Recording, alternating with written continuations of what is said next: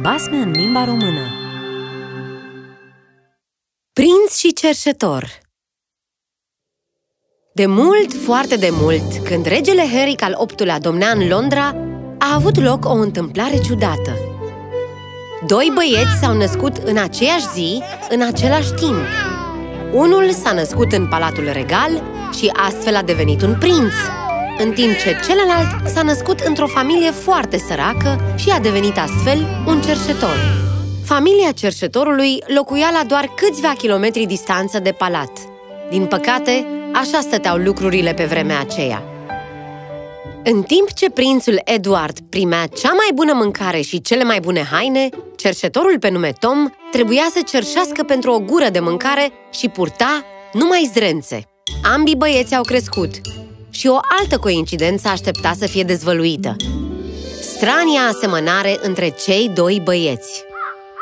Ah, Tom, copil bun de nimic! Nu mi-ai adus nimic astăzi! Tată, eu nu vreau să cerșesc. Tu crezi că e cineva care vrea să cerșească istețule? Dacă nu cerșești, atunci ce vom mânca? Și cu atitudinea asta, ar fi trebuit să te naști într-un palat! De ce te-ai născut într-o casă de cerșetori? Dar cum să decid unde să mă nasc? Oh, mai taci, băiat nerecunoscător! Ieși afară și adum niște bani! Singurul lucru bun din viața lui Tom era profesorul Andrews, care preda la o școală din apropiere. Obișnuia să aducă diferite cărți în fiecare săptămână și îl încuraja pe Tom să citească. Cărțile sunt cel mai bun prieten al omului, Tom. Te vor îndruma în orice situație. Știu că viața e dificilă pentru tine. Nu, nu știi. Nimeni nu știe. Spune-mi, profesore, de ce nu m-am născut eu într-un palat? Nu vreau să fiu cerșetor toată viața. Nu e drept. Cine spune că trebuie să fii cerșetor doar pentru că te-ai născut în casa unui cerșetor? Dar nu așa funcționează? Copilul unui cerșetor e un cerșetor, iar copilul unui rege e un prinț sau o prințesă. Dar pe măsură ce creștem, putem alege să fim altcineva. De fapt, putem alege să fim oricine vrem să fim. Răspundem la asta. Dacă îți dau doar două opțiuni, să fii un cerșetor sau un om zgârcit și necinstit, ce ai vrea să fii? Dacă singura altă opțiune e să fiu un om necinstit, atunci aș prefera să rămân cerșetor și să fiu cinstit. Exact! Înțelegi acum? Poți întotdeauna să alegi. Nu contează dacă te-ai născut într-un palat sau într-o colibă. Îți trebuie curaj să fii cinstit și nobil, Tom, și eu știu că tu ai curajul ăsta. Eu cred în tine. Mulțumesc! Într-o zi, Tom a plecat să caute ceva de mâncare. După ce a mers un timp, a ajuns la palat. A fost uimit să vadă o clădire atât de mare și de înaltă. S-a apropiat și s-a strecurat prin tufișuri ca să poată vedea mai bine. L-a văzut pe prințul Edward jucându-se cu jucăriile. Ah, el trebuie să fie prințul! Ce aș vrea să am și eu o viață regală! Hei, tu, mizerabilule! Cum îndrăznești să intri aici? Hai să-l aruncăm afară din palat! Tocmai când paznicii l-au luat pe Tom ca să-l dea afară, prințul Edward sosi în fugă. ce cu tot tărăboiul acesta? Băiatul ăsta încerca să intre în palat. Cum te cheamă? Mă cheamă Tom Canty. Scuzele mele, măriata, n-am vrut să fac niciun rău. Doar trăgeam cu ochiul la fereastra ta.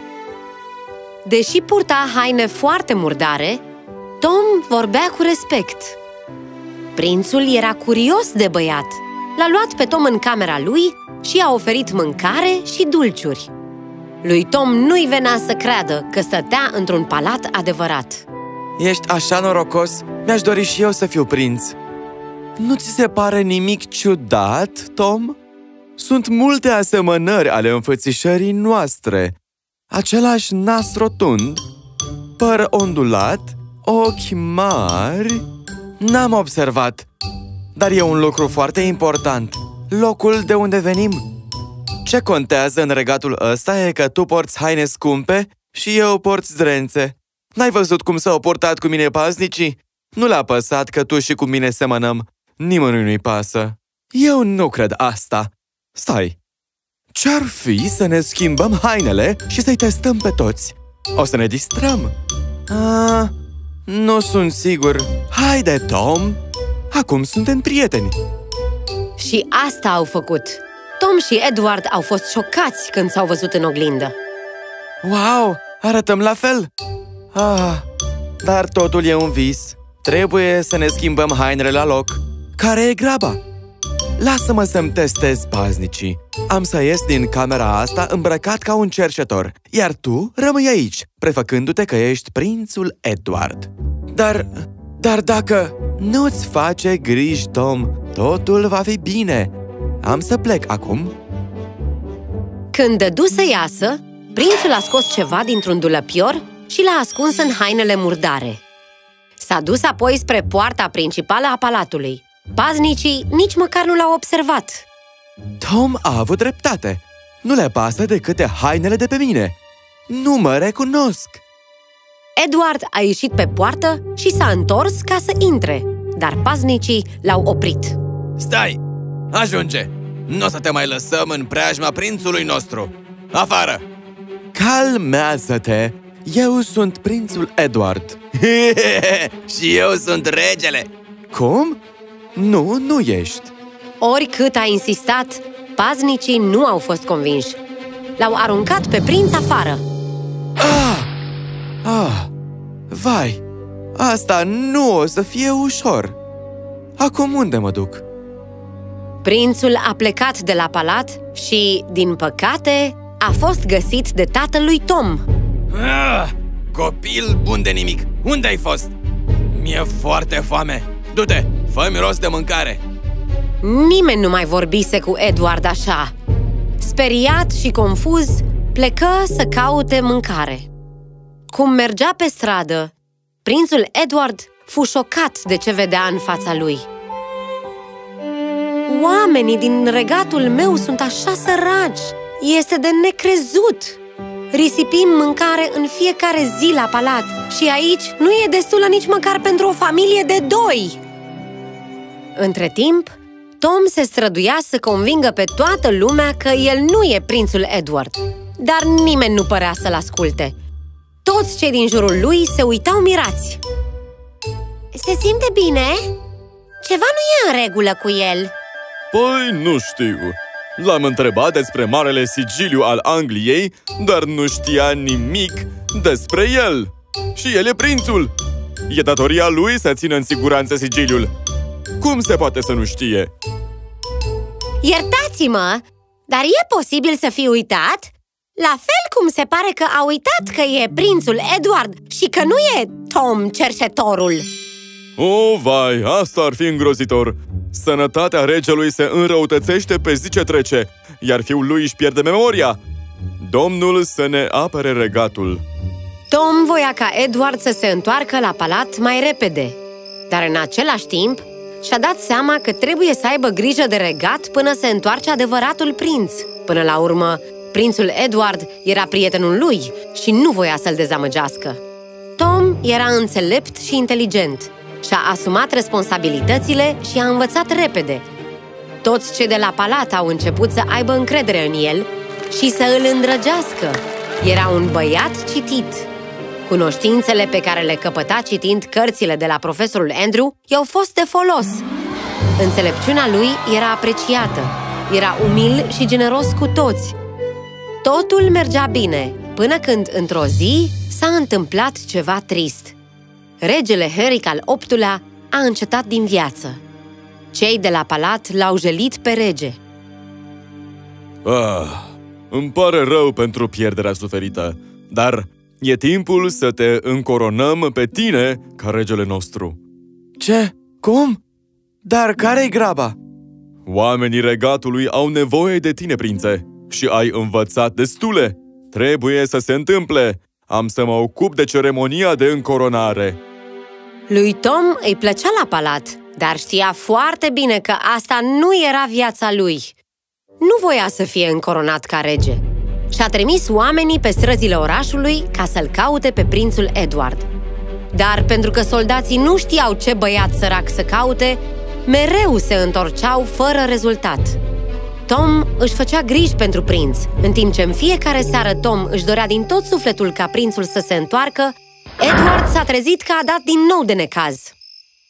Odată când mergea pe stradă, pe Edward l-au prins doi pungași care l-au obligat să fure.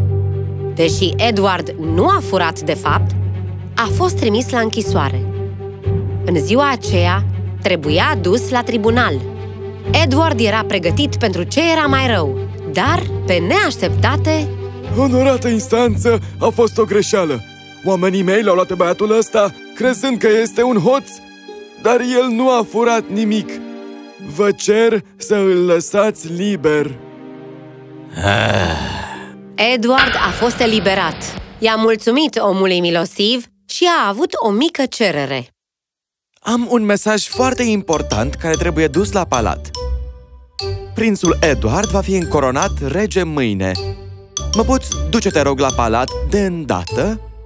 Bărbatul nu l-a crezut pe Edward, dar pentru că și el voia să asiste la ceremonia de încoronare, a fost de acord să îl ducă pe Edward. A doua zi, la palat, toată lumea se strânse ca să îl aclame pe noul lor rege. E o zi istorică pentru noi toți! Azi ne încoronăm noul rege, regele Edward! Ura! Da, regele Edward! Regele Edward! Toată lumea era foarte bucuroasă. Tocmai când coroana urma să fie pusă pe capul lui Tom...